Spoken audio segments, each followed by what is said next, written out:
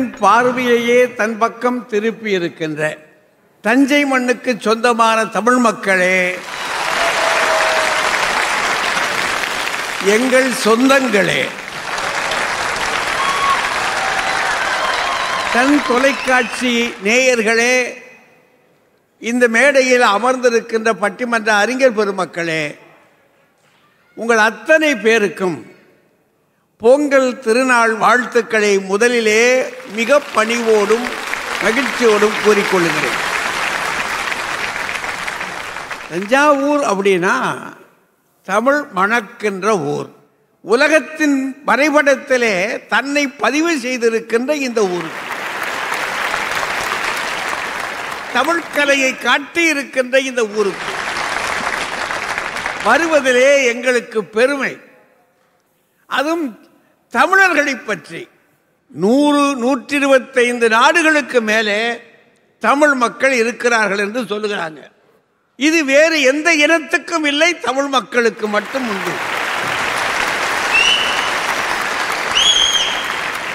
அது மட்டுமல்ல தமிழ் மொழி குறைந்தது மூன்று நாடுகளிலே அரசு மொழியாக இருக்கிறது.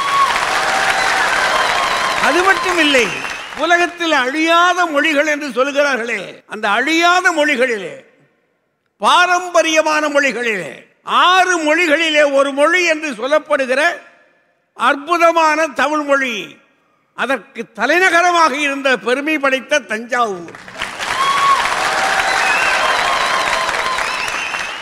அந்த ஊரில் வந்து தமிழர்களை பற்றி அவர்கள் தங்களுடைய அடையாளங்களை அடையாளம்னா என்ன சார்? அநேகமாக நம்ம ஊரில் அதுக்கு தெரியும். சில ஆளுக நெத்தியை பார்த்தாலே சொல்லிடலாம் நெத்தியை பார்க்கலையா? பேரை கேட்கலாம். கண்டுபிடிச்சிடலாம் இதான் அடையாளம். இப்போல்லாம் நெத்தியும் பார்க்க வேண்டாம் பேரையும் கேட்க வேண்டாம். தோளில் போட்டுருக்க துண்டு இருக்கு பாருங்க. அதை பார்த்த உடனேயே ரெண்டை சொல்லிடலாம் ஒன்று அவர் கட்சியை சொல்லிவிடலாம். இன்னொன்று துண்டு மட்டும் இல்லை. அவர் கட்டியிருக்கிற வேட்டி இருக்கு பாருங்க. அந்த வேட்டியிலேயே விவரம் இருக்கு. எழுதியிருக்கிறார். அப்படின்னா நமக்குள்ளே ஏதோ ஒரு அடையாளம் வச்சிருக்கோம். அந்த அடையாளத்துக்குள்ள ஆளை தேடுறோம். இப்படி வாழ்க்கையில் ஒவ்வொரு அங்கத்திலையும் ஒரு அடையாளம் இருக்கு. அந்த அடையாளத்தை சொல்லி தமிழர்களை இவ பெருமையாக பார்க்குறாங்க. அப்படி பெருமைப்படுகிற தமிழ் இனம். அது மட்டுமில்லை தமிழர்களின் மிகப்பெரிய அடையாளம் என்ன? திருக்குறள். எங்கு போனாலும் சரி கிறிஸ்தவர்களுடைய நூலுக்கு அடுத்த இடத்துல தமிழ் நூலை திருவள் திருக்குறளை வைத்திருக்கிறார்கள் என்று சொன்னால் தமிழுக்கு எத்தனை பெருமை கிடைத்திருக்கிறது? இத்தனை பெருமைக்குரிய தமிழர்கள் இன்றைக்கு தங்கள் அடையாளங்களை இழந்து கொண்டிருக்கிறார்கள். அதை சொல்கிறதுக்கு ஒரு மூணு பேர் இந்த பக்கம் ரொம்ப பரிதாபமாக உட்காந்துருக்காரு பாருங்க. மருத்துவர் சிவராமன்.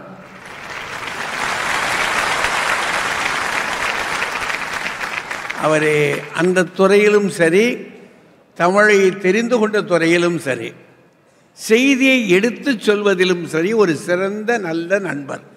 அவர் சொல்கிறார் ஐயா முன்ன மாதிரி இல்லை.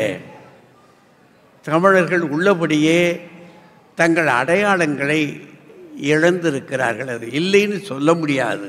அவரை ஒட்டி பேசுவதற்கு அந்த பக்கத்தில் தங்கை கவிதா ஜவஹர்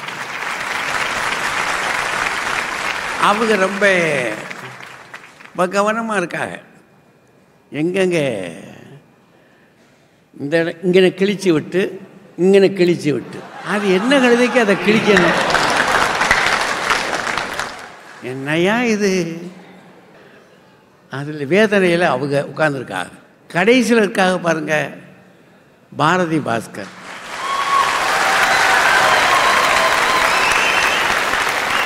அவங்க ரொம்ப ரொம்ப தெளிவாக இருக்காங்க.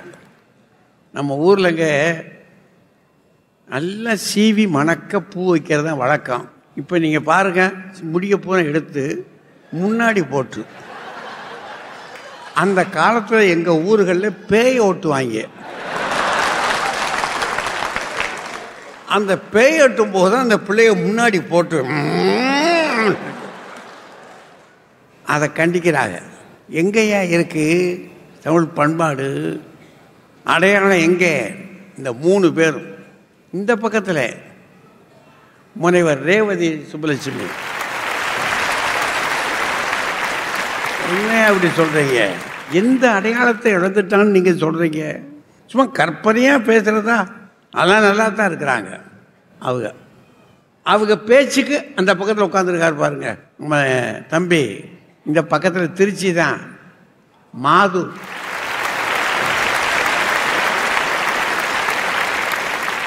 அவர் ரொம்ப உறுதியாக நிற்கிறார் ஒரு அடையாளத்தையும் இழக்கலை. ரொம்ப தெளிவாக இருக்கிறார் தமிழன். அவர் கடைசியாக இருக்கார் பாருங்க.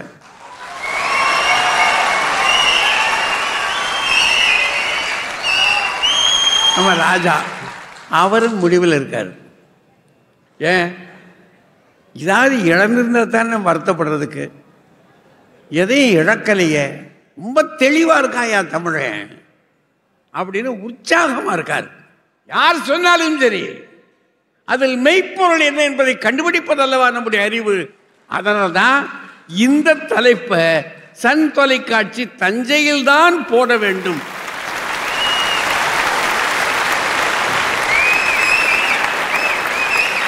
என்று இங்கே கொண்டு வந்து போட்டதற்கே அது உங்களுடைய அன்பையும் உங்களுடைய திறத்தையும் பாசத்தையும் நேசித்து சன் தொலைக்காட்சி இங்கே போட்டிருக்கு. அதனால் இப்போது உள்ளபடியே தமிழ் மக்கள் தங்கள் அடையாளங்களை இன்று இழந்திருக்கிறார்கள் என்ற அணி தொடங்குகிறது. அந்த அணியை மருத்துவர் சிவராமன் அவர்கள் தலைமை தாங்கி தொடங்க வருகிறார். இந்த நிகழ்ச்சியை கோடான கோடி மக்களுக்கு கொண்டு சென்றிருக்கிற பார்த்து கொண்டிருக்கிற அத்தனை சன் டிவி நேயர்களுக்கும் தமிழர் திருநாள் தைப்பொங்கல் வாழ்த்துக்கள். ஐயா மிகச்சிறப்பாக எது தமிழனின் அடையாளம் என்பதை தொட்டு ஆரம்பித்தார். எத்தனை பேர் இங்கே வந்திருப்பவர்கள்? தமிழர்கள் அடையாளம் இழக்கவில்லை என்று வேட்டி சட்டையோட புடவைகளோடு எத்தனை பேர் வந்திருக்கீங்கன்னு பார்க்கலாம். எத்தனை பேர்? மிகச் சொற்பமாக. அடையாளங்கள் ஆடையில் இழக்க ஆரம்பித்துட்டோம். உலகத்திலேயே தமிழன் கொண்டாடிய திருவிழாக்கு ஒரு தனித்துவம் உண்டு. உலகமெல்லாம் இந்த அறுவடை திருநாட்கள் நடக்கிறது. ஆங்கிலேயனும் கொண்டாடுறான் அமெரிக்கனும் கொண்டாடுறான். ஆனால் தமிழன் கொண்டாடுற தமிழர் திருநாளினுடைய தனிச்சிறப்பு என்னன்னா உழவுக்காக உழவிக்கு உதவிய கதிரவனையும் மாட்டைக்கும் நன்றி சொல்லி சொல்லக்கூடிய விழா உலகில் இந்த தமிழன் கொண்டாடுற விழா மட்டும்தான். அதில் காலகாலமாக நாம் நடத்தி வந்த திருவிழா ரேக்லா ரேஸாக இருக்கட்டும் ஜல்லிக்கட்டாக இருக்கட்டும் இன்னைக்கு அதற்காக போராடக்கூடிய ஒரு சூழல் வந்துருச்சு. இந்த தஞ்சை மண்ணுக்கே உரிய மாடு வந்து உம்பளச்சேரி மாடு. காங்கேயம் ஈரோடு கோவையில் இருக்கக்கூடிய மாடு. இந்த உம்பளச்சேரி காங்கேயம் வந்து நம்மளுடைய அடையாளம். இவை எப்படி அடையாளம்? வெறுமன பார்வைக்கான அடையாளம் மட்டும் இல்லை. இந்த சூழலுக்கேற்ற இந்த மண்ணுக்கேற்ற இந்த உழவுக்கேற்ற மாடுகள் அவை. இன்னைக்கு அத்தனையும் விட்டுட்டு வெளிநாட்டிலிருந்து மரபணு மாற்றப்பட்ட விந்துக்களை இங்கே கொண்டு வராங்க. யோசிக்க வேண்டியது நண்பர்களே அன்றைய தமிழனினுடைய அறிவு வந்து விசாலமாக ஒரு கல்வி படிக்கும் போதே உடலை எப்படி வைத்துக் கொள்ள வேண்டும் உள்ளத்தை எப்படி வைத்துக் கொள்ள வேண்டும் சூழலை எப்படி வைத்துக் கொள்ளணும் பண்பாடை எப்படி வைத்துக் கொள்ளணும் உலகை எப்படி வைத்துக் கொள்ளணும் என்ற அத்தனையும் பள்ளி பருவத்திலிருந்தே படித்து கொண்டிருந்தான். ஆனால் இன்றைக்கு திட்டமிட்ட ஒரு இலக்குக்காக மட்டும் தன்னை சுயலனவாக பெருக்கிக் கொள்வதை கல்வி என்று சொல்லிக் கொண்டிருக்கிறார்கள். உணவை எடுத்துக்கொள்வோம். எப்படி இருந்த ஒரு உணவு கலாச்சாரம்? கை குழந்தையை ஒக்கலில் வைத்துக்கொண்டு குழைந்த சோரை கைகளால் நசுக்கி நசுக்கி ப வாய்க்குள்ள அந்த குழந்தைக்கு அந்த அன்னை அமுது ஊட்டும் போது அடிச்சட்டி ஆன போல அப்படின்னு சொல்லி ஊட்டுவாங்க. பார்த்தா நூடுல்ஸ் கொடுக்குறோமேங்க. நூடுல்ஸ் நூடுல்ஸ் இல்லை.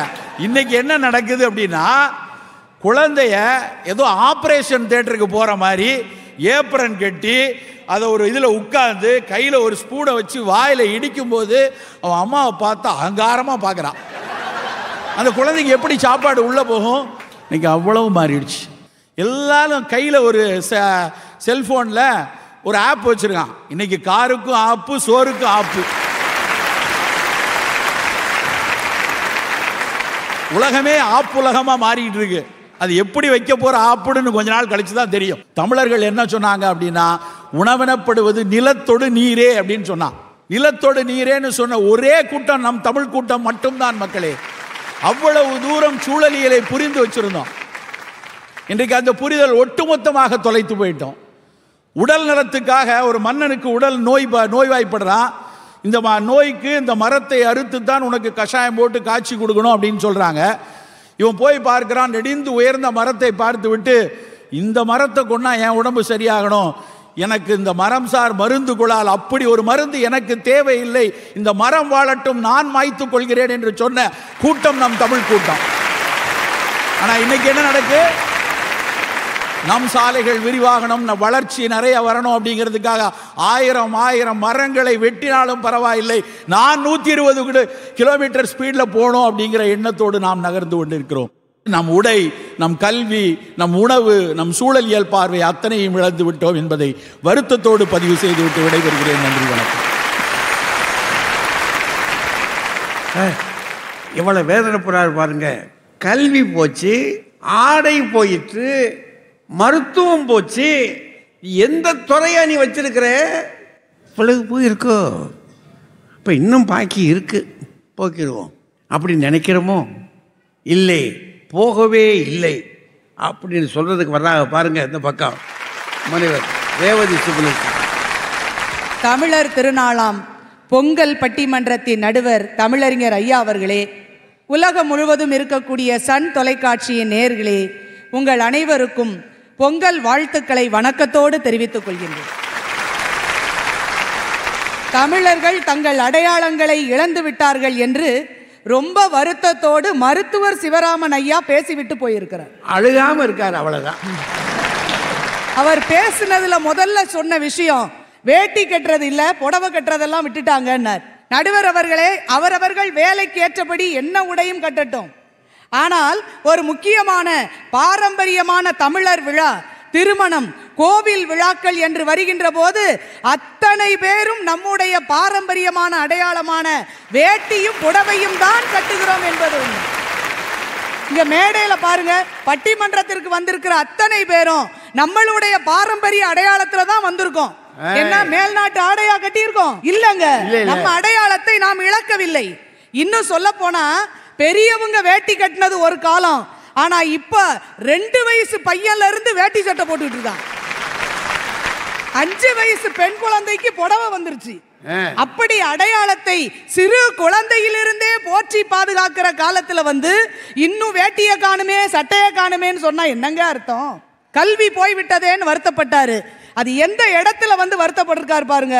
தமிழுக்காகவே தனி பல்கலைக்கழகம் இருக்கின்ற தஞ்சை மண்ணில் வந்து தமிழ் கல்வி போயிருச்சேன்னு வருத்தப்படலாமா ஐயா அவர்கள்? நடுவர் அவர்களே என்னுடைய அடையாளம் என்று நான் பெருமையாக நினைக்கிறது. நான் தமிழ்ச்சங்கம் கல்லூரியின் பேராசிரியர் என்பதுதான். தமிழுக்கு தமிழுக்கு எப்போதெல்லாம் இடையூறு வருகிறதோ அப்போதெல்லாம் தமிழனே மேலெழுந்து தமிழை காப்பாற்றுவான் என்பதுதான் நம்மளுடைய வரலாறு. முச்சங்கங்கள் இருந்த தமிழகத்தில் அவை அழிந்த பிறகு நான்காம் தமிழ்ச்சங்கம் உருவாக வேண்டும் என்பதற்காக வள்ளல் பொன் பாண்டித்துரை தேவரும் ராமநாதபுரம் பாஸ்கர சேதுபதியும் இணைந்து நான்காம் தமிழ்ச்சங்கத்தை அற்புதமாக உருவாக்கினார்கள். அந்த கல்லூரியிலிருந்து ஆயிரம் ஆயிரம் மாணவர்களை தமிழர் அடையாளங்களாக உருவாக்கி கொண்டிருக்கிறோம் நாங்கள் என்பதுதான் எங்களுடைய பெருமையே. அதுலயும் மருத்துவர் ரொம்ப அழகா சொன்னார். இது ஆப்பு காலமா? ஆப்பு காலமா? நமக்கு நாமே வைத்துக் கொள்கின்ற ஆப்பு காலம்னார். இல்லை மருத்துவர் அவர்களே உங்களை போன்ற தமிழ் மருத்துவர்கள் இருக்கின்ற நேரத்தில் இது ஆப்பு காலம் இல்ல. எங்களை நாங்களே காப்பு காலம். நீங்க தானே எங்களுக்கு விழிப்புணர்வு கொடுத்துக்கிட்டு இருக்கீங்க. இல்ல மற்றவங்களுக்கு போடுற சோப்பு காலம். ஐயா தமிழனின் தனிப்பெரும் அடையாளம் என்பது நம்முடைய மொழி. இந்த உலகத்துல எல்லாம் எடுத்து பாருங்களேன். அமெரிக்காவில் உள்ள எம்பையர் ஸ்டேட் என்ற அந்த பெரிய பில்டிங் கட்டடம். அந்த கட்டடத்தை விட முப்பது மடங்கு பெரிய பிரமிடுகளை கட்டிய எகிப்தியர்கள் பேசிய எகிப்திய மொழி இப்போ இல்லை. உலகத்தையே என் காலடியில் கொண்டு வருவேன் என்று சொன்ன மாவீரன் அலெக்சாண்டர் பேசிய கிரேக்க மொழி இப்போது இல்லை. ஆசையே துன்பத்துக்கு காரணம் என்று சொன்ன புத்தர் பேசிய பாலி மொழி இப்போது இல்லை. ஆனால் அந்த மொழிகளோடெல்லாம் பிறந்து வளர்ந்து தன் தோழமை மொழிகளெல்லாம் அழிந்த பிறகும் இன்னும் வாழ்ந்து கொண்டிருக்கின்ற ஒற்றை மொழி உயர்தனி செம்மொழியான நம்ம தமிழ் மொழி மட்டும்தான் ஐயா. இதை விட என்ன அடையாளம் நமக்கு வேண்டி இருக்கு? ஐயா இந்த பட்டிமன்றம் என்ற அருமையான அமைப்பு. இது இப்ப தோன்றியது இல்ல. மணிமேகலையில சொல்லியிருக்கு பட்டிமன்றம் பற்றி. மாணிக்க வாசகர் பக்தி இலக்கியத்தில் சொல்லியிருக்கார் பட்டிமன்றத்தை பற்றி. எத்தனை நூற்றாண்டுகளுக்கு முந்தையது?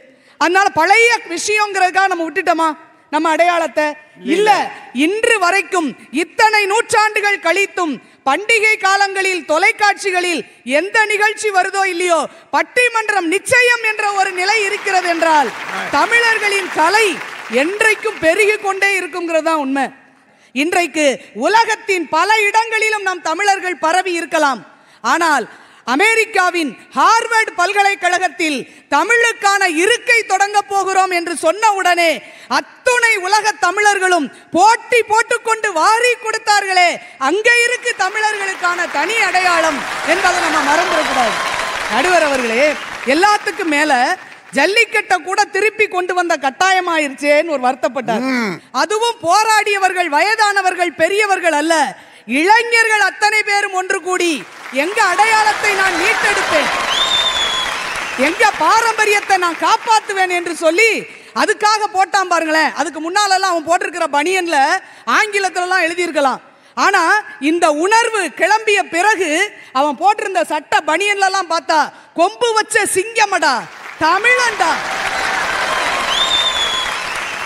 தமிழண்டா அப்படின்னு ஒரு திமிரோட போராடி நம்ம அடையாளத்தை மீட்டெடுத்தோம் என்றால் என்னைக்கும் நம்முடைய அடையாளங்கள் என்பது தொலைந்து போகாது என்பதுதான் உண்மை. நடுவர் அவர்களே விருந்துங்கிறது தனிப்பெரும் அடையாளம். இருக்கிறவங்க கொடுக்கறது கூட பெரிய விஷயம் இல்லைங்க. இல்லாதவர்களும் கொடை கொடுத்தார்கள் என்பதுதான் பெரிய விஷயம். எப்போ? நம்ம கஜா புயலால் பாதிக்கப்பட்ட போது திருச்சி பக்கத்தில் இருக்கிற ஒரு கல்லூரியில் இருந்து பாதிக்கப்பட்ட இடங்களுக்கு ஒரு லாரி நிறைய நிவாரண பொருட்கள் போனது. அதை பெற்றுக்கொண்ட விவசாய பெருமக்கள் அந்த லாரியை திருப்ப அனுப்பும் போது வெறும் லாரியாக அனுப்பக்கூடாது என்று அது நிறைய இளநீரை பறித்து போட்டு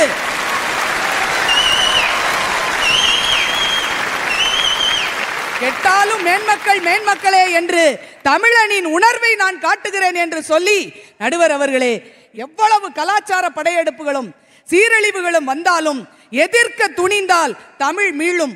எதற்கும் துணிந்தால் தமிழே ஆளும்.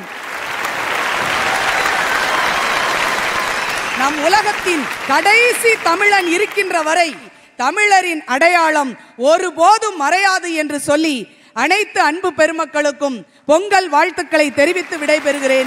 நன்றி வணக்கம். ஆ, ரொம்ப அருமையா நல்ல பேச்சு. இவ்வளவு தெளிவாக சொல்லியிருக்காங்க. இதை எதிர்க்கிறது என்பது இப்போ திருமதி கவிதா ஜவஹர் அவர்களுக்கு. வாங்க. எதிரணியிலிருந்து சகோதரி ரேவதி அவர்கள் வந்தாங்க ஐயா ம். கல்யாண வீட்ல எல்லாம் நீங்க போய் பாருங்க. எல்லாரும் புடவை கட்டியிருக்கிறாங்க. வேட்டி சட்டை கட்டியிருக்காங்க. எப்போ வரைக்கும்? தாலி கட்டுற வரைக்கும். தாலி கட்டி முடிச்ச உடனே அந்த மணமேடையே காலி ஆயிரும் ஜோலி முடிஞ்சிச்சு. ம். அவர் ஒரு குர்த்தி போட்டு வருவாரு. அந்த அம்மா ஒரு சல்வார் கமிஸ் போட்டு வரும் கையில மெஹந்தி போட்டு பாங்க்ரா டான்ஸ் ஆடுவாங்க. இதுதான் தமிழருடைய அடையாளம். அஞ்சு வயசு பொண்ணு புடவை கட்டி இருக்கு. ஐம்பது வயசு பொம்பளை நைட்டி போட்டு தெருவில் தெரியுது. நம்ம மொழியை பார்த்தீர்களா அமெரிக்காவில் ஹார்வர்ட் பல்கலைக்கழகத்தில் தமிழ் இருக்கை வாங்கி விட்டோம் ம். அமெரிக்கால தமிழுக்கு இருக்கை கிடைச்சிருச்சு. இங்க தமிழ்நாட்டில் கடை பலகையில தமிழ் இருக்கா? ஆ. சார் மற்ற மாநிலங்கள்ல மற்ற நாடுகள்ல அவங்கவங்க தாய்மொழியில படிச்சு வந்தா தான் முன்னேற முடியும். ஆனா தமிழ்நாட்டுல மட்டும்தான் தாய்மொழியே படிக்காம ஒருத்தன் முன்னேற முடியும்னா அது எவ்வளவு பெரிய அவமானம்? தமிழ் வாழ்க! சார் பள்ளி வழியாக ஆங்கிலம் வளர்கிறது டெல்லி வழியாக ஹிந்தி வளர்கிறது. இசை வழியாக தெலுங்கு வளர்கிறது இறைவன் வழியாக சமஸ்கிருதம் வளர்கிறது எதன் வழியாக தமிழை வளர்க்க போகிறீர்கள்? தமிழர்களே ஒவ்வொரு நாட்டுக்கு ஒரு எல்லை இருக்கும்ல மாநிலத்துக்கு. நம்ம தமிழனினுடைய எல்லை என்ன தெரியுமா? தெற்க குமரி வடக்க வேங்கடம். வேங்கடம்னா என்ன தெரியுமா? திருப்பதி. திருப்பதி யாரோட எல்லை? தமிழனுடைய எல்லை. லட்டை தூக்கி கொடுக்குற மாதிரி கொடுத்துட்டு நாமத்தை போட்டு வந்து உட்காந்துருக்கோம் எவ்வளவு பெரிய வணிகத்துக்கு சொந்தக்காரங்க நாம தெரியுமா? சர்வதேச வணிகம் நடத்திய பூம்புகார் பட்டினம். அந்த பரம்பரையில வந்த தமிழர்கள் ஒரு பெட்டிக்கடை வைக்கிறதுக்கு நாதி இருக்கா?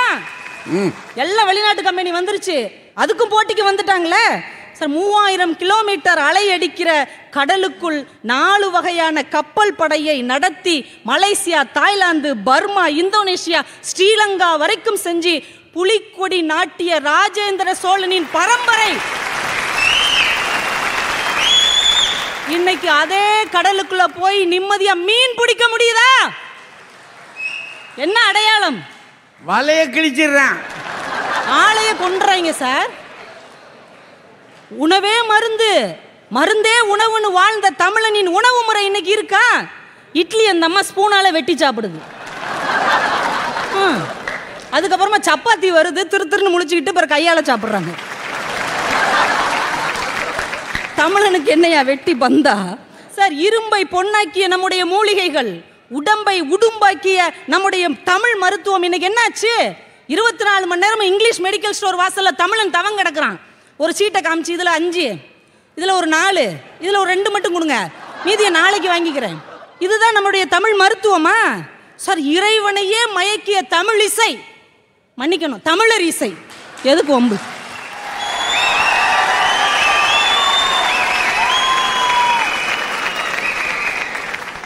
நாதஸ்வரம் கேட்டு பள்ளி எழுந்த எங்களுடைய கடவுள் இன்னைக்கு அந்த டமாரம் சத்தத்தை கேட்டு பதறி அடிச்சு எந்திரிச்சு உட்கார்றாரு. என்னடா பாவிகளா பண்ணிக்கிட்டு இருக்கீங்க? தலைக்கு மேல டமால் டமால்னு. எங்கயா போச்சு எல்லாம்? சார், அதெல்லாம் கூட விடுங்க சார். தஞ்சாவூர்ல பேசுறோம். எப்பேற்பட்ட கட்டட கலை தமிழனுடைய கட்டடக்கலை. சார் இன்னைக்கு ஒரு பாலம் கட்டினா கூட நூறு வருஷம் கேரண்டி கொடுக்குறாங்க. ஆனால் ஆயிரம் ஆண்டு காலம் நிலைக்கிற ஒரு கோவிலை கட்டி முடிச்சிட்டு அதை கட்டின இன்ஜினியர் பெருந்தச்சர் குஞ்சர மல்லர் அப்படி கம்பீரமா நிக்கிறார். ராஜராஜ சோழன் பெருமிதமா அவரை பார்க்கிறார். பெருந்தச்ச குஞ்சவர மல்லரே காலத்தால் வென்று நிற்கக்கூடிய கோயிலை கட்டியிருக்கிறீர்கள். காலத்தால் அழியாத பரிசை நான் தருகிறேன். எனக்கு இந்த மக்கள் இட்ட பெயர் ராஜராஜன். என் பெயரை நான் உங்களுக்கு தருகிறேன். இன்று முதல் ராஜராஜ பெருந்தச்ச குஞ்சர மல்லர் என்று நீங்கள் அழைக்கப்படுவீர்கள். இந்த தஞ்சை பெருவுடையார் கோவில் இருக்கும் வரை என் பெயர் இருக்கும். என் பெயர் இருக்கும் வரை உங்கள் பெயர் நிலைக்கும் என்று தன் பெயரை தானமாக கொடுத்த அந்த கட்டடக்கலை இன்னைக்கு நீங்க போய் நாளைக்கு பாருங்க. அங்க உள்ள பாறையில சுவத்துல சின்ன சின்ன கோயில் கருவறையில கூட தான் பேரு மொபைல் நம்பரு காதலிக்கிற பொண்ணோட பேரை கிறுக்கி வச்சிருக்கோமே. ஆயிரம் ஆண்டு கால பழமையை பத்து ரூபா பாப்கார்ன் தின்னு போயிட்டு வர்றோமே. இதுதான் உங்களுடைய அடையாளமா? எங்க அடையாளம் அதுல இருக்க வேண்டாமா அம்மா? இவ்வளவு கேவலமா அடையாளத்தை பதிவு செய்வது தமிழனாக மட்டும்தான் இருக்க முடியும். சார் சங்க இலக்கியத்துல ஒரு காட்சி வருது. தமிழர்கள் வீடுகள்ல சோறு பொங்கி அந்த வடிச்ச தண்ணியை வெளியே ஊத்தி விடுறாங்க. அது தெருவுல ஆறா ஓடுது. அந்த வழியா வர்ற யானை வலிக்கு வலிக்கு விழுது. எவ்வளவு சோறு பொங்கியிருப்பாங்க பாருங்க. வடிச்ச கஞ்சியே ஆறா ஓடிய தமிழர்களின் தெருக்களில் இன்றைக்கு விவசாயிகளின் கண்ணீர் ஆறாக ஓடிக்கொண்டிருக்கிறதே. இதற்கு என்ன பதிலை நீங்கள் வைத்திருக்கிறீர்கள்? சார், தண்ணீர் ஆறா ஓடுது இருக்கட்டும்.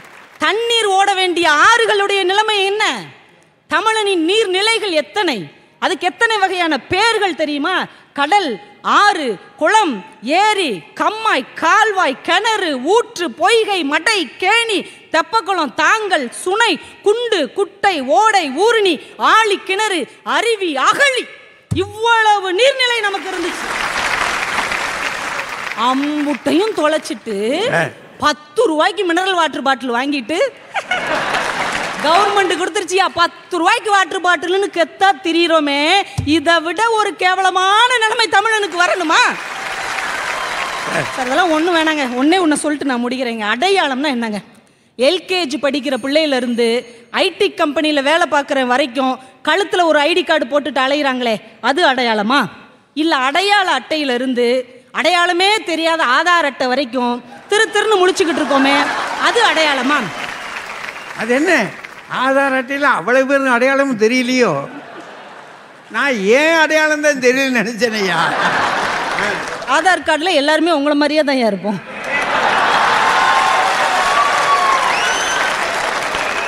ஒரு காலத்தில் நமக்கென்று ஒரு அடையாளம் இருந்தது. அது என்ன தெரியுமா? முல்லைக்கு தேர் கொடுத்த பாரியின் பெரும் கருணை நம் அடையாளம். பிள்ளையை தேர்காலில் இட்டு கொன்ற மனுநீதி சோழனின் நேர்மை நம்முடைய அடையாளம். எதிரி மன்னனிடம் தனி ஒருத்தியாக தூது போன அவ்வையின் வீரம் நம்முடைய அடையாளம்.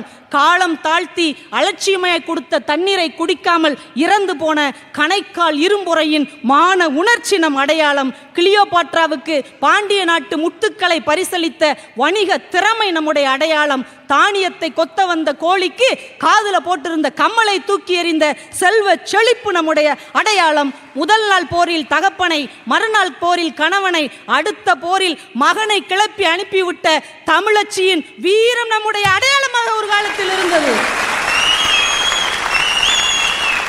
இன்னைக்கு இருக்கா? அந்த வீரம் இன்னைக்கு இருக்கா? அந்த மான உணர்ச்சி இன்னைக்கு இருக்கா? அந்த செல்வம் எங்க போச்சு? அந்த அறிவு எங்க போச்சு? முரத்தால் புலியை அடித்து துரத்திய தமிழச்சி இன்னைக்கு தனியா பஸ்ல போக முடியல சார் யாது ஊரை யாவரும் கேளீர்னு சொன்ன தமிழனுக்கு அடையாளமாக ஒரு ஊர் கூட இல்லை சார் தூத்துக்குடி தமிழை மூச்சு திணறிக்கிட்டு இருக்கிறான். தஞ்சாவூர் தமிழன் தரிசா போய்கிட்டு இருக்கான். மதுரை தமிழை வைகை ஆத்துல கிரிக்கெட் விளையாடிக்கிட்டு இருக்கான். எங்கே போச்சு எங்கள் அடையாளம்? ஒன்றை சொல்லி முடிக்கிறேன். சுவற்றில் பிடுங்கி எறியப்பட்ட ஒரு ஆணி கூட நான் அங்கே இருந்தேன் என்ற அடையாளத்தை விட்டுவிட்டு தான் போகிறது. தென்னை மரத்திலிருந்து விழுந்த மட்டை நான் இங்கேதான் இருந்தேன். ஒரு அடையாளத்தை விட்டுவிட்டு போகிறது. ஆனால் கல் தோன்றி மண் தோன்றா காலத்தே முன் தோன்றிய மூத்தகுடி அடையாளமின்றி அனாதையாய் அகதியாய் தெரிகிறது. என்றைக்கு தமிழன் தமிழன் என்ற அடையாளத்தை தொலைத்து ஜாதியாய் மதமாய் கட்சியாய் பிரிவாய் குழுவாய் பிரிந்தானோ அதுவரைக்கும் அடையாளம் என்கின்ற வார்த்தைக்கே அர்த்தம் இல்லை நன்றி வணக்கம். என்னையா? எத்தனை அடையாளங்களை இழந்திருக்கிறோம்? அவங்க எவ்வளவு உருக்கமாக சொல்றாங்க பாருங்க. மனச்சாட்சி இல்லாத மக்களாக இருக்காங்களே வாங்க மாது வாங்க. நல்ல அருமையானதொரு பட்டி மண்டபத்தினை எங்கள் ஐயா தமிழறிஞர் தலைமையிலே வழங்குவதற்கு பெரும் வாய்ப்பளித்த சன் தொலைக்காட்சிக்கும் குழுமியிருக்கிற உங்கள் அனைவருக்கும் என்னுடைய பணிவான வணக்கத்தை தெரிவித்துக் கொள்கிறேன். தமிழருடைய அடையாளங்கள் இழந்திருக்கிறோம் அப்படின்னு அவங்க பேசுகிறாங்க இழக்கவில்லைன்னு நாங்கள் சொல்லணும். இந்த இழக்கவில்லைன்னு சொல்கிறதுக்கு கஷ்டமே பட வேண்டாம். இந்த இடத்த பார்த்தாலே தெரியும். எப்படி? தமிழனோட அடையாளங்களில் தலை சிறந்த அடையாளம் என்ன தெரியுமா? தன்னை பற்றி மற்றவன் எவ்வளவு திட்டுனாலும் சரி அவனையும் கைத்தட்டி ஆகா ஓகோன்னு சொல்றது தான் தமிழன் அடையாளம். இந்த அம்மா அத்தனை திட்டு திட்டிட்டு போச்சு. நீங்க என்னன்னா கை தட்டி ஆகா ஓகோ இதுதான் தமிழன் அடையாளம். திட்டுனாலும் நல்லா இருமா? பொழைச்சு போம்மா. வைதாரையும் வாழ்த்துவது. அவ்வளவுதான். எதனால வாழ்த்தணும்? தமிழால திட்டுச்சு. அதனால வாழ்த்தணும். தமிழால திட்டினாலும் வாழ்த்து வாங்குறதுக்கு நான் ஒரு உதாரணம் சொல்லட்டுமா? டெல்லியில் தமிழ் சங்கத்தில் பேசுறதுக்காக எங்கள் அப்பாவை கூப்பிட்டுருந்தாங்க போனாங்க. டெல்லிக்கு பக்கத்தில் ஒரு புகைவண்டி நிலையத்தில் வண்டி நின்னவுடனே காப்பி குடிக்கலாம்னு இறங்கி அங்கே இருக்கிற காப்பி ஸ்டாலுக்கு போனாங்க. அந்த நேரம் பார்த்து காப்பி வாங்கி குடிக்கும்போது ராணுவத்தில் வேலை செய்கிற நாலு பேர் வந்தவன் ஒரு ஆள் எங்கள் அப்பா கால பூஸ்ட் காலால் முதிச்சு விட்டான். இவர் திரும்பி பார்த்தா நல்லா ஆறு அடிக்கு ஒரு ஆள்.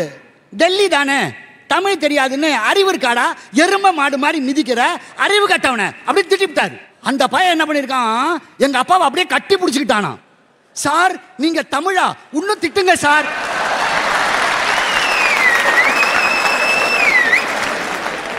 தமிழை கேட்டு ரெண்டு வருஷம் ஆச்சு சார். நல்லா திட்டுங்க சார். இனிமையா இருக்குன்னு அம்மா அந்த மாதிரி நீங்க திட்டுனதெல்லாம் நாங்க இனிமையா எடுத்துக்கிறோம்மா. நல்லா இருங்க. நல்லா இருக்கு என்னங்க நினைச்சுக்கிட்டு இருக்கீங்க நீங்க? இல்லைம்மா அடையாளத்தை இழந்துட்டோம் அடையாளத்தை இழந்துட்டோம். நான் இப்போ உங்கள்கிட்ட ஒரு சில அடையாளங்களை சொல்கிறேன் நீங்கள் என்னன்னு சொல்லுங்க. நான் பேரே சொல்ல மாட்டேன். ஆ? சொல்லுங்க. தேசிய கவி பாரதி பாட்டாளி கவிஞன் பட்டுக்கோட்டை கர்ம வீரர் காமராஜ் பேரறிஞர். சரி இப்ப பாருங்க. யாரோட பேரும் சொல்லல. அவங்களுக்கு அடையாளமா கொடுக்கப்பட்ட பெயரை சொன்னால் இன்றைக்கு கூட அவர்கள் வாழ்ந்து கொண்டிருக்கிறார்களே. என்ன காரணம்? என்ன காரணம்? ஒன்றை தெரிந்து கொள்ளுங்கள். அடையாளம் அழியுமானால் அப்பொழுது அந்த இனம் அழிந்திருக்கிறது என்ற அர்த்தம் இன்றைக்கும் இத்தனை பேர் இங்கு வந்திருக்கிறார்கள். தமிழன் அடையாளம் என்றைக்கும் இல்லை என்றைக்கும் அழியாது. மறந்து விடாது அதில் அவங்க என்ன சொல்றாங்க? திருப்பதி நம்ம கிட்ட திருப்பதி தான் போச்சு. இன்னும் தமிழ் மொழி திருப்பதியிலேருந்து போகலங்கிறத நீங்க ஞாபகம் வச்சுங்க திருப்பதியில் இன்னைக்கும் இந்த வைகுண்ட ஏகதேசி எல்லாம் நடக்குது பாருங்க. அப்போ ஓதுகிற மறை எது தெரியுமா? நாலாயிர திவ்ய பிரபந்தம்ங்கிற தமிழ் மறை தான் இன்றைக்கும் ஓதப்படுகிறது மறந்துறாங்க திருப்பதிக்கு போனா இதையும் பாருங்க. லட்டை மட்டும் வாங்கிட்டு வராதீங்க. எப்பா பார்த்தாலும். அதை குறைச்சிட்டுவேன் ஐயா. ஆமா. அது மட்டும் இல்லைங்க உழவரை பத்தி பேசுறாங்க இங்க பாருங்க இன்னைக்கு இல்ல ரெண்டாயிரம் வருஷம் முன்னாடி பல்லுன்னு உழவர் பாட்டு இருக்கு பாருங்க அதுல சொல்லிட்டு போயிட்டாங்க. வானிலை அறிக்கை சொல்லியிருக்கான். இந்த நண்டு இருக்கு பாருங்க அந்த நண்டு வந்து சேத்துல வலையை அடைக்குதான். சொறி தவளை சத்தம் போடுதான். ஏண்டான்னு கேட்டா மலையாள மின்னல் ஈழ மின்னல் மின்னுதுங்கிறான். இதுல ஒரு அற்புதம் பாருங்க ஈழ மின்னல்னா என்ன தெரியுமா? ஈழம். நமக்கு தென்கிழக்கால இருக்கு. மலையாள மின்னல்னா என்ன தெரியுமா? தென்மேற்குன்னு அர்த்தம். கேரளா ரெண்டாயிரம் வருஷத்துக்கு முன்னாடியே பள்ளு பாட்டுல வானிலை அறிக்கை சொன்ன ஒரே ஆள் யாருன்னு கேட்டா நம்முடைய தமிழன்கிறத நீங்க மறந்துடாதீங்க. உங்களுக்கு வானிலை அறிக்கைன்னா பள்ளிக்கூடத்துக்கு லீவ் விடுறது மட்டும்தாம்மா தெரியும். வேற என்ன தெரியும் உங்களுக்கு? வேற என்ன தெரியும்? அதே மாதிரி இன்னைக்கு எல்லாத்தையும் விட்டுட்டோம் ஒண்ணுமே இல்லை மனசுல கருணை இல்லை. என்ன நினைச்சிட்டு இருக்கீங்க? காரைக்குடியில வள்ளல் அழகப்ப செட்டியார் இருந்தாங்க. அவங்க வாழ்வில் நடந்த ஒரு சுவையான நிகழ்ச்சி சொல்கிறேன் புதுக்கோட்டை பக்கத்தில் காரைக்குடி போகிற வழியில் ஒரு ரயில்வே லைன் வரும். அந்த இடத்துல போய் அவர் வண்டி நிற்கிது அப்போ அங்கே ஒரு அம்மா வெள்ளரிக்காய் விற்குது அதை கொண்டு வந்து அந்த வெள்ளரிக்காயை நீங்கள் வாங்கிக்கிங்க அப்படிங்குது. இவர் என்ன பண்ணுறாரு குடுமா அப்படின்னு சொல்லி ஐம்பது ரூபா கொடுக்குறாரு. அந்த அம்மா சொல்லுது என்கிட்ட சில்லறை இல்லையே. இவர் என்ன பண்ணுறாரு பரவாயில்லம்மா வச்சுக்கன்னு. அந்த அம்மா சொல்லிச்சு இந்தாங்க இந்த கூடையை நீங்கள் வச்சுங்கன்னுச்சு எது வெள்ளரிக்காய் நீ. இவர் சொன்னார் எனக்கு இது போதும்மா. அந்த அம்மா ஏழைங்க. அம்மா என்ன தெரியுமா பண்ணிச்சுங்க? அங்கே சுற்றி இருக்கிற பிள்ளைங்க இதெல்லாம் விளையாண்டுட்டு இருக்கும் பாருங்க. அது எல்லாரையும் கூப்பிட்டு இங்கே வாங்கடா இந்தாங்கடா இந்தாங்கடா இந்தாங்கடான்னு எல்லாத்துக்கும் கொடுக்குது. அந்த வீட்டுக்காரர் சொல்கிறான் ஏ இதை நம்ம விற்றுருந்தா நம்ம காசு வந்திருக்கும்ல. எதுக்கு நீ சும்மா கொடுக்குற? அந்த அம்மா ஒரு வார்த்தை சொல்லிச்சு பாருங்க. அது ஒன்றும் இல்லை. இந்தா வச்சுக்கன்னு தாராளமாக அந்த ஆள் தானம் பண்ணான் பாரு. அவன் கையில் வாங்கின உடனே எனக்கும் கொடுக்கணும்னு என்ன வந்துச்சு. அதனால கொடுத்துட்டாங்க என்ன அடையாளத்தை நாம தொலைச்சிட்டோம்? அதைத்தான் திருவிக்கா சொன்னார் பாருங்க தானம் வாங்கிட கூசிடுவான். அப்புறம் தருவதே மேல் என பேசிடுவான்.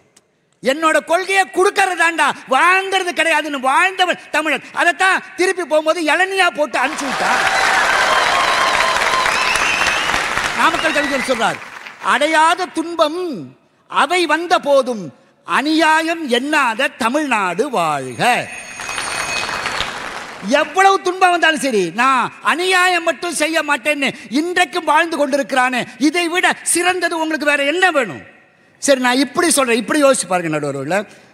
எனக்கு தெரிஞ்சு ரத்த வங்கி இருக்கு இல்லையா? இருக்கு. அதே மாதிரி கண் வங்கி ஐ பேங்க் இருக்கு.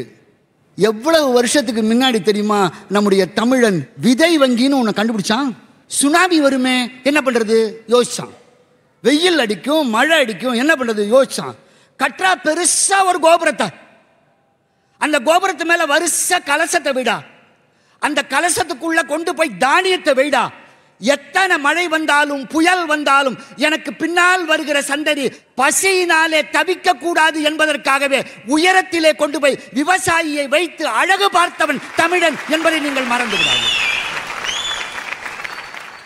இப்போ உடனே ஒரு கேள்வி ஒன்று அடுத்தது. அங்க மேல வச்ச அந்த விதை இருக்கு வழி இழந்து போச்சுன்னா என்னடா பண்றது? அப்படின்னு ஒரு கேள்வி வருமா இல்லையா? கவலைப்படாத பன்னெண்டு வருஷத்துக்கு ஒரு தடவை அதை மாத்துறா குடமுழுக்குன்னு ஒண்ணு பண்றா கவலையே படாதடான் பாத்தீங்களா இல்லையா? நீங்க எத்தனை கும்பாபிஷேகத்துக்கு நேர்முக வர்ணனை பண்ணிருக்கீங்க? கும்பாபிஷேகம் கும்பாபிஷேகத்து போய் பேசிக்கிறீங்க. ஏன் இங்க பார்க்கவே மாட்டீங்களா? வாட் இஸ் திஸ் வைத்தறிச்சல்? நான் இப்படி சொல்லி முடிக்கலாம் என்று நினைக்கிறேன். நேற்றைய தலைமுறையாக இருக்கிற என் தமிழன் என் பாட்டன் இன்றைய தலைமுறையாக இருக்கிற எனக்கு நாளைய அறிவோடு சிந்தித்து விட்டு சென்றிருக்கிறான். அந்த தமிழன் அடையாளங்களை யாராலும் அழிக்க முடியாது. அது என்றைக்கும் வாழ்ந்து நமக்கு வழிகாட்டும் என்று சொல்லி வாய்ப்பளித்த அனைவருக்கும் நன்றி கூறி வருகிறேன் நன்றி ரொம்ப உருக்கமா. ரொம்ப தெளிவாகவே சொல்லியிருக்காரு. இன்னுமா பேசணும்? வாங்க. பாரதி பாஸ்கர் வாங்க. இந்த அரங்கம் முழுவதும் பொங்கி ததும்பி எங்களை மகிழ்ச்சி வெள்ளத்திலே ஆழ்த்தி கொண்டிருக்கின்ற தமிழ்நாட்டுக்கெல்லாம் சோறு போடுகிற தஞ்சை தரணியினுடைய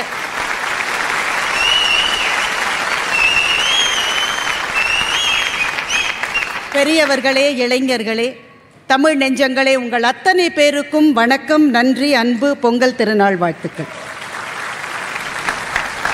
நடுவர் அவர்களே எனக்கு முன்னால் சகோதரர் மாது அவர்கள் பேசினார்கள். என்ன வந்து சொல்றாரு? டெல்லியில திட்டினா தமிழர்கள் பல பேருக்கு கோபமே வராதுன்ற உண்மையை உறக்க சொல்லி இருக்கிறார். ஏதோ ஒன்று பேசுகிற மாதிரி தெரியுதே. ஆ ஆ. தமிழர்களை பற்றி அவர் சொன்னார் நல்லா இருந்தது கேட்கறதுக்கு. தானம் வாங்கிட கூசிடுவான்.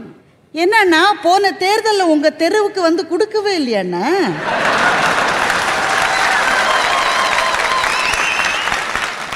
சார் உங்களுக்கு தெரியுமா இந்தியாவில் பல சமயங்களில் தேர்தல் கமிஷன் வந்து தேர்தலை தள்ளி போட்டிருக்காங்க. மழை வந்ததுக்காக தள்ளி போடுவாங்க புயல் வந்ததுக்காக தள்ளி போடுவாங்க தீவிரவாத அட்டாக்னாக்க தள்ளி போடுவாங்க. ஆனால் தேர்தல் போது கொடுக்கப்படுகிற லஞ்சத்தை நிறுத்தறதுக்கு வழி இல்லைன்னு தேர்தலை தள்ளி போட்ட ஒரே மாநிலம் தமிழ்நாடு தான் இந்தியாவில். எதுலேயும் ஒரு பெருமை இருக்கணும்லம்மா அப்புறம் பேரறிஞர் அப்படின்னாக்கா அண்ணா. கர்ம வீரர் என்றால் காமராஜர். மகாகவி என்றால் பாரதி. இந்த பெரிய மனிதர்கள் வாழ்ந்த வாழ்க்கையாலே அவர்களுக்கு கிடைத்த அங்கீகாரம். தனி மனிதர்கள் அங்கீகாரம் வாங்குறத பத்தி நீங்க பேசிட்டு இருக்கீங்க. ஒரு இனத்துக்கான அடையாளம் என்பது நாம் உழைத்து வாங்குவதல்ல. அது பரம்பரையிலிருந்து நமக்கு வந்து சேருவது. அடையாளம் எது அங்கீகாரம் எதுன்னு தெரியல. எது சொன்னாலும் பொருத்தமா சொல்லணும். இட்லிக்கெல்லாம் ஒரு கோடி ரூபான்னு நாங்க என்ன செய்யறது நாங்கள் அவர் சொல்கிறாரு ரெண்டாயிரம் வருஷத்துக்கு முன்னாடி ரொம்ப சரியாக மின்னலில் எது மலையாள மின்னல் எது ஈழ மின்னல் சொன்னாரு. கஜா புயலில் இந்த பாடு படுத்துன்னு சொல்கிறதுக்கு ஒரு நாதி இல்லைன்னு நாங்கள் கஷ்டப்பட்டுட்டு இருக்கோம். ரெண்டாயிரம் வருஷத்துக்கு முன்னாடி வானிலை அறிக்கை சொன்னாங்க. நேற்றைய பெருமைகளை சொல்லி கொண்டிருக்கிறீர்களே தவிர இன்றைக்கு அதை எப்படி பாதுகாத்தோன்னு சொல்கிறதுக்கு இது மட்டும் ஒரு நாதி இல்லை. இதுக்கப்புறம் வேற ஒன்று வரப்போகுது. ஐயா வள்ளுவனுடைய குரல்ல எனக்கு ரொம்ப பிடிச்ச குரல் ஒன்று இருக்கு. பிணியின்மை செல்வம் விளைவு இன்பம் ஏமம் அணி என்ப நாட்டிற்கு இவ்வைந்து. மாது அண்ணா பேசுகிற போது ரத்த வங்கியை கேள்விப்பட்டிருப்பீங்கன்னு சொன்ன உடனே இந்த குரல் என்னுடைய ஞாபகத்துக்கு வந்தது. ஒரு கர்ப்பிணி பெண்ணுக்கு கொடுக்கிற ரத்தத்தில் ஹெச்ஐவி தொற்று இருக்குன்னு அவரே வந்து சொல்ற வரை கண்டுபிடிக்காத நம்முடைய பிணியற்ற சமுதாயமா இந்த சமுதாயம்? அப்புறம் சொன்னார் கோபுரத்தில் இருக்கிற கலசத்தில் நாங்கள் தானியங்களை பத்திரமாக பாதுகாத்து பன்னெண்டு வருஷத்துக்கு ஒரு தடவை மாத்திரம். ரொம்ப நன்றி வணக்கம் சந்தோஷம். கோபுரத்துக்கு மேலே இருக்கிற கலசத்தில் இருக்கிற தானியத்தெல்லாம் காப்பாத்துறீங்க. கோபுரத்துக்கு கீழே கோவிலில் இருக்கிற சிலைகள்லாம் காணாமல் போயிட்டே இருக்கு. அது பலருக்கு தேவைப்படுதுமா? காணாம போன சிலையெல்லாம் கண்டுபிடிக்கிறேன்னு ஒருத்தர் வந்தா அவரையே காணாம போக அடிக்கிறதுக்காக. நம்முடைய அடையாளங்களை காப்பாற்ற தெரியவில்லை. இந்த மண்ணிலே ராஜராஜ சோழன் ஆண்ட போது பெரிய கோவிலில் இருக்கிற ஒவ்வொரு சிலைக்குமான பட்டியல் இருக்கிறது குறிப்பு இருக்கிறது. ஆயிரம் வருஷத்துக்கு முன்னாடி ஒரு ராஜா செஞ்சிருக்கான் சார். இன்னைக்கு நம்ம கோவிலில் இருக்கிற சிற்பங்கள் இருக்கா இல்லையான்னு கூட நமக்கு தெரியலன்னா பாரம்பரியத்தையும் அடையாளங்களையும் நம்ம காப்பாத்திட்டு இருக்கோமா? அவருக்கு முன்னாடி ரேவதி. மூன்று தமிழ் சங்கங்கள் வந்தது நாலாவது சங்கம் வந்தது. இதெல்லாம் தமிழன் தானே வச்சிருக்கான்னு. எல்லாம் தமிழன் தான் வச்சான். இன்னைக்கு அதை பற்றி தமிழனுடைய மனநிலை என்னன்றத நான் சொல்லலை. ஒரு நாலு வயசு பொடி பைய சொல்லியிருக்கான். சங்கம் முக்கியமா சாப்பாடு முக்கியமானா?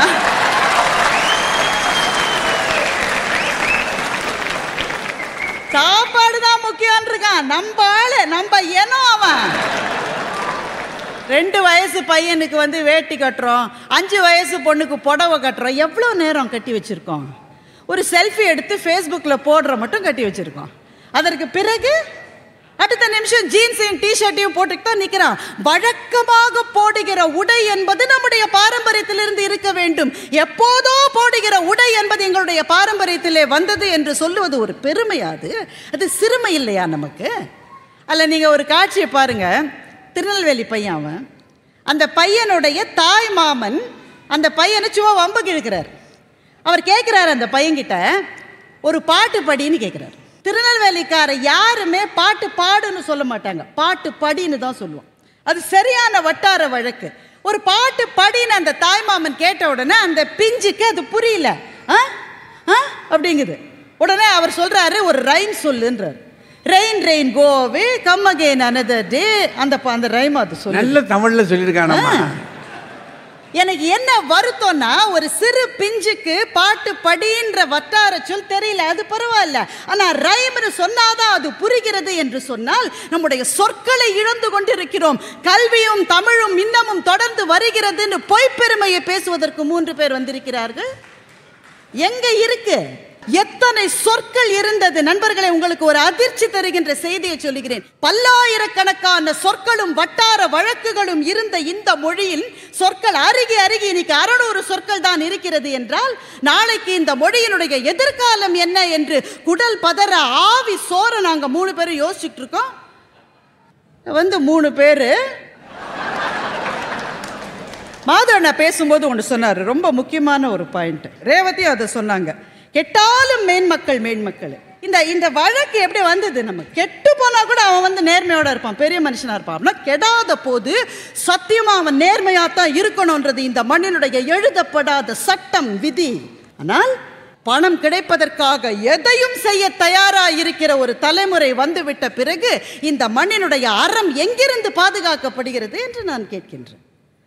எனக்கு என்ன தோன்றுகிறது என்றால் இந்த மண்ணினுடைய மிகப்பெரிய அடையாளம் என்று நாம் எதை நினைத்து பெருமைப்பட்டுக் கொள்ளலாம் என்றால் ரெண்டாயிரம் வருஷங்களுக்கு முன்னால் ஒரு புலவன் எழுந்து நின்று சொன்னான் எந்த ஊரும் என்னுடைய ஊர்?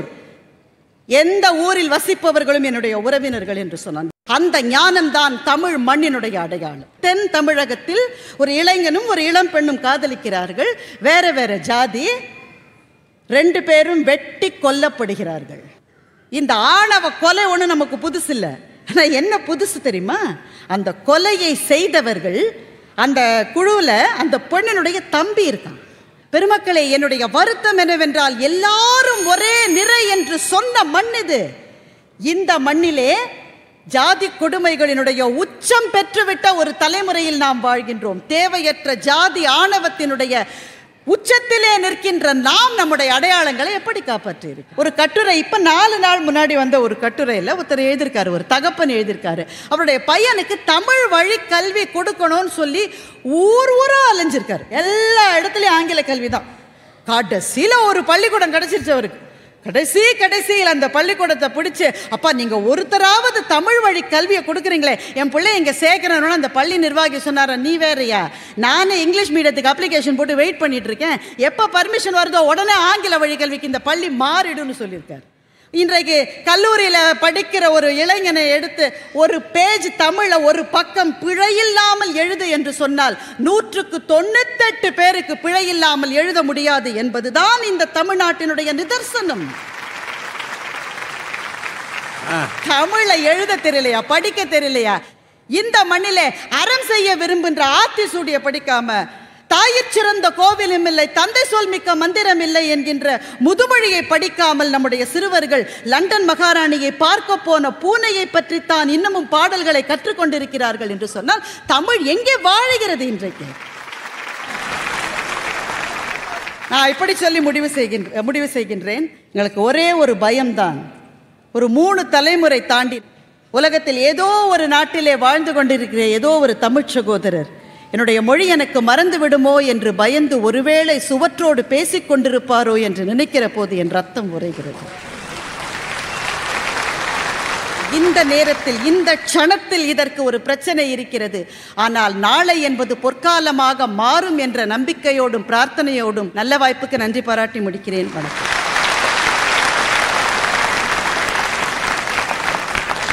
மனசில் கிடந்த ஆதங்கத்தை எல்லாம் புலம்பி தீர்த்துட்டாங்க. ஒரு வருத்தம். என்ன செய்கிறது இங்கிட்டும் கேட்கணும் அங்கிட்டும் கேட்கணும் இல்லையா? வாங்க ராஜா வாங்க. சன் தொலைக்காட்சி ரசிக பெருமக்களே பெரியோர்களே தாய்மார்களே குழந்தைகளே உங்கள் அத்தனை பேருக்கும் என்னுடைய அன்பான வணக்கமும் பொங்கல் திருநாள் நல்வாழ்த்துகளும். ரொம்ப அருமையாக அந்த அணியில் பேசியிருக்கிறாங்க. இவ்வளவு பாரதி வருத்தப்பட்டு பேசி நான் சமீபத்தில் பார்க்கல. இந்த கட்சியில் மூணு பேர் பேசுகிறார் மூணு பேர் பேசுகிறார்னா நாங்கள் என்னம்மா செய்கிறது வேணா ஒரு ஆளை விரட்டி விட்டுறோம். என்னம்மா இது? நீங்கள் மூணு பேர் பேசுனா நாங்கள் மூணு பேர் பேசக்கூடாதா? அடையாளங்கள் எது எது இருக்குன்னு சொல்லுங்கன்னா அதற்கான இதற்கான. இதில் நாலு வயசு பையன் ஏதோ சொல்லிட்டானா சின்ன பயலுக்கு சொல்கிறதெல்லாம் கேட்காதீங்கம்மா. அவன் மிரட்டினா என்ன வேணாலும் சொல்லுவான். சமீபத்தில் ஒரு ஒரு ஒரு மாதத்துக்கு முன்னாடி தைவானில் இருக்கிற தமிழ்ச் சங்கத்துக்கு பாரதி பாஸ்கர் மேடம் காணொளி வாயிலாக இலக்கியம் பேசினார்கள். எங்க? தைவானில் இருக்கிற தமிழ்ச் சங்கம். சுவரோடையா பேசுனீங்க? தைவானில் சவுத் ஆப்பிரிக்காவில் ஜப்பானில் எங்கெங்கே தமிழ்ச்சங்கம் இருக்கோ எல்லா ஊர்லேயும் பேசிட்டு தமிழ் இனிமேல் வளராது. சரி அவங்களையாவது விட்டுலாம் அந்த நடுவில் ஒரு அம்மா இருக்காங்களே? அந்த அம்மாவுக்கு ஏன் இவ்வளவு கோபம்? அந்த காலத்தில் கஞ்சி வடித்ததில் யானை வழுக்குச்சுன்னா? ஏதோ நான் வழுக்கி விழுந்தேன்னு சொன்னாலும் பரவாயில்லையா. யானை வலுக்குச்சுன்னா ஏ உங்க கவிதைகள் கற்பனைகள் எல்லாம் அன்னைக்கு ஒரு அழகுக்கு சொன்னதுமா? மொழியின் அழகு கற்பனை. அதை கொண்டாந்து அப்படி இருந்த தமிழ்நாடு இப்போ நம்ம என்ன செய்யணும்ன்றீங்க? இனிமேல் நீங்கள் கஞ்சி வெடிக்கும் போதெல்லாம் தெருவில் விடுங்க. கஞ்சியை தெருவில் விடணும். அவங்களுக்கு பாருங்க இந்த ஊரில் அகழி இருக்கிறதா? ஊரணி இருக்கிறதா? அகழி இங்கே இருக்குமா? தஞ்சை பெரிய கோயிலை சுத்தி அகழி இருக்கா இல்லையா? இருக்கு இருக்கு. ஊரையும் பார்க்கறது இல்ல பேரையும் பார்க்கறது இருக்கும் தண்ணி இருக்குமான்றதான் இருக்கு. மழை பெஞ்சா இருக்கும். இதுக்காக இல்லாட்டி அந்த வடிச்ச கஞ்சியெல்லாம் கொண்டு போய் அகலியில் விடுங்க. யானை வலிக்கு விழாதுல்ல என்ன வேடிக்கை பாருங்க. எங்கே நம்ம அடையாளம்? எங்கே நம்ம அடையாளம்? சார் தமிழர் அடையாளத்தை இழந்திருக்கீங்களா? கனடாவில் ஜஸ்டின் ட்ரூடோ பிரதமர். வேட்டியும் சட்டையுமா அவர் பொங்கல் வைக்கிறார். அந்த வீடியோவும் பார்க்கணும். சிங்கப்பூரில் தமிழ் மாதம் கொண்டாடப்படுகிறது. ஒரு மாதம் சி- தமிழ் மாதம். என்ன பேசுறீங்க? அகதியாக விரட்டப்பட்டாலும் அகிலத்தையும் ஆளுகிற ஆற்றல் தமிழனுக்கு இருக்கிறது. மறந்துடாது எங்க போய் பேசுறீங்க? ஆஸ்திரேலியாவிலிருந்து அமெரிக்கா வரை எல்லா இடங்களிலும் தமிழர்கள் இருக்கிறார்கள். சார் கலைகள். நா- நாதஸ்வரத்தை பத்தி சொல்றீங்களாம்மா? சஞ்சாரம் அப்படின்ற ஒரு நாவலுக்கு இப்போ சாகித்ய அகாடமி விருது வந்திருக்கிறது. எஸ் ராமகிருஷ்ணன் எழுதியது இந்த ஆண்டுக்கு. அது நாதஸ்வர கலைஞர்களை பற்றிய ஒரு நாவல். தஞ்சாவூர்ல வந்து கலைகளை பத்தி சொல்லலாமா? சில தெருக்களே கலைஞர்களால் குடியிருக்கிற தெருக்கள் இங்க. அந்த அரண்மனையை சுத்தி போய் பாருங்க. நாடக கலைஞர்கள் நாதஸ்வர கலைஞர்கள் எங்க பேட்டையிலே வந்து எனக்கு ரொம்ப சந்தோஷம் என்னன்னா இவ்வளவு வேகமா பேசுனாங்க. திருப்பதி நமக்கு சொந்தமா? அது அரசியல். நம்ம எல்லாருமா கூடி திருப்பதியை வேணாம்னோ. மொழிவாரி மாநிலங்கள் பிரிக்கும் போது சென்னையா திருப்பதியான்ற கேள்வி வந்தது. நம்ம சென்னையை வாங்கிட்டு திருப்பதியை கொடுத்தோம். நம்மால் எதையும் வாங்காம கொடுக்க மாட்டான்ல. வாங்காம ஓட்டே போட மாட்டான். இல்ல அது அரசியல்ல அப்படி ஆயிருச்சு ஆக்கிட்டாங்க. அது தமிழனின் அடிப்படை குணம் அல்ல. இது டாக்டரை பார்த்தா எனக்கு பயமா இருக்கு. எதை பார்த்தாலும் டாக்டர் ஞாபகமாவே வருது. எதையாவது சாப்பிட்டோம்னா அவர் திடீர்னு வந்து குதிரை வாலி சாப்பிடுங்கள் கம்பு சாப்பிடுங்கள் கேழ்வரகு சாப்பிடுங்கள். உங்களுக்கு தெரியுமா? நான் வேடிக்கைக்கு சொல்லலை. டாக்டர் வந்த பிறகு தமிழ்நாட்டில் சிறுதானிய உணவு பெருகி இருக்கிறது. மறந்துடாதீங்க. சமீபத்தில் ஒரு ஐந்து நட்சத்திர ஹோட்டலுக்கு இப்போ காலை உணவுக்கு சாப்பிட போகிறேன் கப் கேப்பக்கூழ் வச்சுருக்காங்க. நான் பொய் சொல்லலை. கேப்ப களி கேப்ப கூழ் எல்லாம் மீண்டும் வந்திருக்கிறது. திரும்பவும் கிடைத்திருக்கிறது. சும்மா எதை எடுத்தாலும். அப்புறம் அந்த அம்மா தாலி கட்டின பிறகு சேலையை மாற்றுகிறார்கள். கூரை புடவைன்னு ஒன்று அந்த அந்த நேரம் தான் கட்டுவான். அதுக்கப்புறம் அதே புடவையில் நாள் பூரா இருப்பானா? ஏம்மா ஒரு ரிசப்ஷனுக்கு வேறு ட்ரெஸ் மாற்றக்கூடாதா என்னம்மா இப்படி ஆகிட்டீங்க அதில் அவங்களுக்கு வருத்தம் என்னன்னா ஐம்பது வயசு அம்மா வந்து நைட்டி போட்டுருச்சான் அது வேற யாரும் இல்லை அவள் மாமியார். அந்த கவலையை இங்கே கொண்டாந்து சொல்லணுமா எதன் வழியாக தமிழை வளர்க்க போகிறீர்கள்? தமிழ் வழியாகத்தான் தமிழை வளர்க்க போகிறோம். எதன் வழியாக வளர்ப்பது? தமிழர்கள் இருக்கிற வரை தமிழ் வளர்ந்து கொண்டே தான் இருக்கும். எப்படி வளர வளராமல் போகும்? சார் இதே ஊர்ல கொஞ்ச நாள் முன்னாடி சதய விழா கொண்டாடினீங்களா இல்லையா? ஆயிரம் ஆண்டுகள் கழித்தும் கூட ராஜராஜ சோழனுக்கு விழா எடுக்கிற இந்த மக்கள் எப்படி அடையாளங்களை இழப்பார்கள்? தமிழரிசை மும்மூர்த்திகள் இந்த ஊருக்காரவங்க தான் இந்த பகுதியில் இருக்கிறவங்க தான். திருவாரூர். திருவாரூர் சங்கீத மும்மூர்த்திகள் அவங்களும் இந்த பகுதி தான். இப்போ திருவாரூர்ன்றது ரொம்ப முக்கியமா போச்சோ? இங்கே இருந்துதாமா எல்லாம் புறப்பட்டது. எப்படி காணாமல் போகும்? இந்த ஒண்ணுங்க. அது ஐயாவை பத்தி சொன்னது ஆதார் அட்டையில் இருக்கிற எல்லாருமே ஐயா மாதிரி இருக்காங்கன்னு சொல்லலாம்? எனக்கு அது ரொம்ப சந்தோஷம் யா அவரே தா மாதிரி இல்லைன்னு சொல்லிக்கிட்டு இருக்கிறாரு. எல்லாரும் அவர் மாதிரி இருக்கிறாங்கன்னா என்னம்மா அர்த்தம்? பாரியனுக்கு அடையாளம் இருக்கா அப்படின்னு அந்த அம்மா கேட்டாங்கல்ல. சமீபத்தில் ஒரு வார பத்திரிகையில் வேள்பாரி அப்படின்னு ஒரு தொடர் வந்தது. நூறு வாரம் ஒரு தொடர் வந்தது. அதில் என்ன பெருமை என்றால் கர்ப்பிணி பெண்கள் ஒருவேளை எனக்கு மகன் பிறந்தால் பாரி என்று பெயர் வைப்பேன் என்று அந்த கூட்டத்தில் சொன்னாங்க. எவ்வளவு காலம் யா? ஆயிரம் ஆண்டுகள் கழிந்த பிறகும் தமிழ் உணர்வு மாறாமல் இருக்கிறது. அதுதானே தமிழரின் அடையாளம்? சார் ஒன்று ரெண்டு சொல்லிடுறேன். சமீபத்தில் பிரபல பின்னணி பாடகர் எஸ்பி பாலசுப்ரமணியன் ஐயாவை ஒரு இடத்துல சந்தித்தேன் அப்போ அவர் சொன்னது இந்தியாவின் பல மொழிகளில் பாடியிருக்கிறேன் இன்றைக்கும் பல தொலைக்காட்சிகளுக்கு போய் வருகிறேன். ஆனால் பட்டிமன்றம் என்ற கலை வடிவம் வேறு எந்த மொழியிலும் இல்லை. அது தமிழுக்கே பெருமை அப்படின்னு அவர் சொன்னார். எல்லாரும் நேசிக்கிற பட்டிமன்றங்களை தமிழ் மொழியின் அடையாளமாக வச்சிருக்கிறோமா இல்லையா? சார் வேற ஒன்றும் வேண்டாம். யாரை பார்த்தாலும் கையை கூப்பி வணக்கம்னு சொல்கிறீங்களே இது தமிழர் அடையாளமா இல்லையா? எத்தனையோ தலைவர்கள் இந்தியாவில் இருக்கிறார்கள். பல மாநிலங்களுக்கு போகும்போதெல்லாம் அந்தந்த மொழிகளில் பேசுகிறார்களா என்று தெரியாது. தேசிய தலைவர்கள் யாராக இருந்தாலும் தமிழ்நாட்டில் வந்து பேச ஆரம்பித்தால் வணக்கம் என்று சொல்லாமல் பேசுவதே இல்லை. ஏன் இப்போ இருக்கிற கவர்னரே இங்கே வந்து தமிழ் படிச்சுக்கிட்டு இருக்கிறார். அதான் உண்மை. தமிழை மறந்தவர்கள் தமிழ்நாட்டில் இருக்க முடியாது. அப்படி இருந்தால் அவன் தமிழனாக இருக்க முடியாது. தமிழன் எங்கேயும் அடையாளங்களை தொலைக்க மாட்டான். உலகம் முழுக்க முன்பு இருந்ததை விட மிக பிரமாண்டமாக பரவி இருக்கிறான். பூமி உள்ளவரை தமிழனும் தமிழ் இனமும் தமிழ் மொழியும் இருந்து கொண்டே இருக்கும். ஒரு நாளும் அதை இழக்க முடியாது இழக்கப் போவதில்லை என்று சொல்லி மீண்டும் அனைவருக்கும் பொங்கல் வாழ்த்துக்களை சொல்லி வணங்கி விடைபெறுகிறேன். நன்றி வணக்கம். பெரியோர்களே ஒரு அருமையான சிந்தனைக்குரிய பட்டிமன்றம். இந்த பக்கம் நம்பிக்கை தருகிற சொற்களை சொல்லியிருக்கிறாங்க. தமிழ் விழாது என்ற நம்பிக்கையை நம்ம அத்தனை பேருக்கும் ஊட்டியிருக்காங்க. இந்த பக்கத்தில் இல்லையா நிறைய நாம் இழந்திருக்கிறோம் என்று கவலையை அச்சத்தை உருவாக்குகிற சொற்களை சொல்லியிருக்காங்க. இதையும் இதையும் வாங்கி யோசித்து பார்த்தா அநேகமாக என்னுடைய கணிப்பு பட்டிமன்றம் ஒன்றில்தான் தமிழ் நிலைத்து நிற்கிறது. அப்படின்னா பட்டிமன்றம் தமிழை வாழ வைத்துக் கொண்டிருக்கிறது. தமிழ் பட்டிமன்றங்களால் நிலைத்து நிற்கிறது. மணிமேகலையிலேயே பட்டிமன்றம் இருக்கும்னு சொன்னால் எவ்வளவு காலமாக இருக்கு?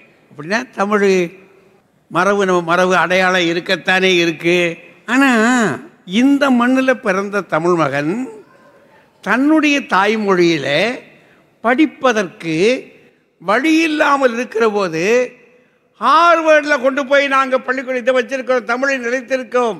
நாங்கள் அங்கே வைத்திருக்கிறோம் என்று சொன்னால் என்ன அர்த்தம்? அது பெருமைக்குரியதுன்னு நினைக்கிறீங்களா? இந்த மொழி எங்கள் ஊரில் இருக்க வேண்டும் என்று அந்த நாட்டுக்காரர்கள் வைத்திருந்திருப்பார்கள் என்றால் நல்லது. ஊர் முழுவதும் நாம் பணம் தேடி கொடுத்து இங்கே நாம் இழந்து கொண்டிருக்கிறோம். அங்கேயாவது இருக்கட்டும் என்று அதை காக்க வைத்திருப்போம் என்றால் பெரியவர்களே வருத்தமாக தானே இருக்கு. ஒரு நெருக்கடி தெரியுதுல்ல. இப்போ இப்படி வந்து பார்ப்போமே. உங்கள் வீடுகளில் அடுப்பாங்கரை இருக்குங்களா? அடுப்பு அடுப்பு. அப்போ என்ன இருக்குது அதுக்கு பதில் ஸ்டவ்வு ஸ்டவ்வு. அடுப்பு என்ன ஆச்சு? அதை அந்த அடுப்புக்கு எது வச்சு என் தாய் எரிச்சா? விறகு எருவு உமி தவிடு அதெல்லாம் போட்டு எரிச்சா. இப்போ அதெல்லாம் இல்லை. அங்கே என்ன இருக்குது? Gas gas. அப்போ ரெண்டு தமிழ் சொற்கள் செத்து போய் ரெண்டு ஆங்கில சொற்கள் இந்த மண்ணிலே இறங்கி எங்கள் இல்லங்களிலே தமிழுக்கு பதில் ஆங்கிலம் இருக்கிறது என்று சொன்னால் அடையாளம் என்ன ஆனது? ஒரு கேள்வி வருமா இல்லையா? சரி இப்படி வருவோம் ஒரு காலத்தில் கண்ணதாசன் ஒரு பாட்டு போட்டார். ஒரு காதலியை பார்த்து பாவாடை தாவணியில் பார்த்த உருவமாக இப்போ பாவாடை கிராமங்களில் இருக்குது தாவணி சினிமாக்களில் இருக்குது ஆனால் பெரும்பாலும் பஞ்சாப்லேருந்து இறங்கி இருக்கக்கூடிய சல்வார் கமீஸ் சுடிதார். அது நான் ஒன்றும் தப்பு சொல்ல மாட்டேன் நான் அது. ஏன்னா பெண்களுக்கு பயணத்துக்கு அது வசதியான ஆடை. அதனால் நான் தப்பு சொல்லலை. இந்த புற அடையாளம்னு இதை சொல்லுவாங்க இது. இதெல்லாம் புற அடை அடையாளம் தான் இதில் மாறுபாடு வருவதில் வந்து ஒன்று தப்பு ஒன்று பெருசாக சொல்ல மாட்டேன். அகத்தே வருகிற மாற்றம் இருக்கு பாருங்க. அதுதான் யா பெரிய பிரச்சனை. ஒரு காலத்தில் நம்ம ஊரில் என்ன செஞ்சானா இந்தாயா இதை வச்சுக்கையா அப்படின்னு கொடுத்தான்னா ரொம்ப உயரமான அது பெரிய சிந்தனை. கொள்ளனை கொடுத்தல் உயர்ந்தது. அப்படி கொடுத்த உடனேயே பக்கத்தில் இருக்கிறவன் ரொம்ப நன்றிங்க. உங்கள் அன்பு எனக்கு ரொம்ப சந்தோஷமாக இருக்குது இப்படி மனிதர்கள் நல்லா இருக்கணும் நீங்கள் நல்லா இருக்கணும். ஆனால் என்னை மன்னிச்சுக்கங்க. எனக்கு இது வேண்டாம். என்று கொள்ளேன் என்றானாக்கும் அதனினும் உயர்ந்துட்டானா? அதை விட உயர்ந்தது. கொடுத்ததை விட மறுத்தது இருக்கே அது பெருசுனா.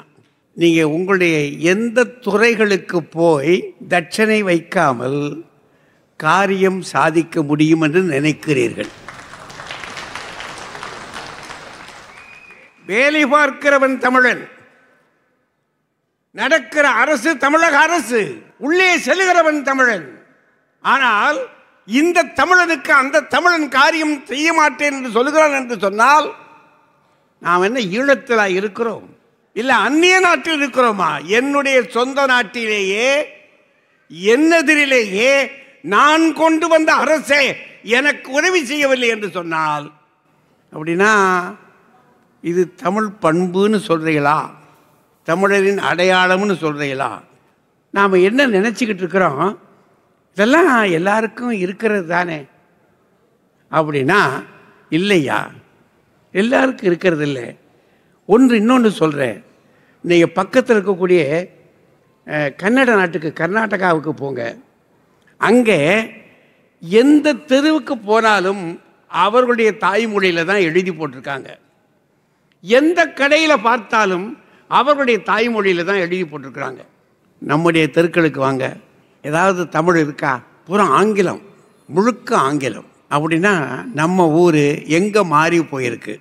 யோசித்து பாருங்கள் இன்றைக்கு நாம் கேரளம் என்று சொல்கிறோம் அல்லவா? கேரளம் கன்னடத்தில் துவாரசமுத்திரம் வரைக்கும். தமிழ் ஒலித்து கொண்டிருந்த நாடு இது. ஆனால் பதினோராம் நூற்றாண்டிற்கு பிறகு கேரள நாட்டுக்குள்ளே சமஸ்கிருதம் உள்ளே புகுந்தது. தமிழும் சமஸ்கிருதம் ஊடாடி ஊடாடி ஊடாடி அவர்கள் சமஸ்கிருதத்தை மிகுதியாக ஏற்றுக்கொண்டதினாலே இன்றைக்கு அது தமிழை விட்டு போய்விட்டது. சேரர்கள் இருந்த நாடு அது. சேரர்கள் இருந்த நாடுனாலே சிலப்பதிகாரம் பிறந்த நாடு அது. திருக்குறளை அங்கே பிறந்தது என்று சொல்லிக் கொண்டிருக்கிறார்கள். தொல்காப்பியம் அங்கே பிறந்தது என்று சொல்கிறார்கள் இன்றைக்கு நீங்கள் சொந்தம் கொண்டாட முடியாது. அது மலையாள நாடாக போய்விட்டது. தமிழ் மக்களே மிக வருத்தத்தோடு சொல்லுகிறேன். நீங்கள் இன்றைக்கு அத்தனை பேரும் விரும்பி ஆங்கிலத்தை உங்கள் இல்லங்களிலும் உள்ளங்களிலும் சுவீகரித்து விட்டீர்கள். மலையாளம் எப்படி மாறியதோ கன்னடம் எப்படி மாறியதோ ஆந்திரத்திற்குள்ளே எப்படியே கொஞ்சம் கொஞ்சமாக மாறியதோ நாளைக்கு தமிழுக்கு அந்த கதி வராது என்று நீங்கள் நினைக்கிறீர்களா? வந்துவிட்டால் தமிழ்நாட்டை தமிழ் இங்கிலீஷ்னு சொல்லுவீங்களா? இங்கிலீஷ் தமிழ்னு சொல்லுவீங்களா? என்ன சொல்ல போகிறீர்கள்? இந்த பயம் ஒன்று தமிழுக்கு மேலே தொங்கிக் கொண்டிருக்கிறது என்பதினாலே. இன்னும் கூட கொண்டு சொல்லலாம். உடைய நடைமுறை பாவனைகள் முழுவதும் இந்த தமிழ் மண்ணை சாராமல் எங்கோ ஒரு நாட்டை நோக்கிய கற்பனையாக நீங்கள் ஆங்கிலத்தை மணந்து கொண்டிருக்கிற இந்த காலகட்டத்தை பார்க்கிற போது பெரியோர்களே ஒருவேளை தமிழுக்கு நாளை இழந்து கொண்டிருக்கிற இந்த செய்தி பேரிழப்பாக மாறிவிடுமோ என்ற அச்சம் இருப்பதினாலே என்னதான் இருந்தாலும் என் தமிழை என் தமிழ் மகனை தைரியம் இழக்கிறவராக நான் செய்ய முடியாது. தமிழ் மகன் இன்று விழுந்தாலும் சரி நாளை நிமிர்ந்து நிற்கான்.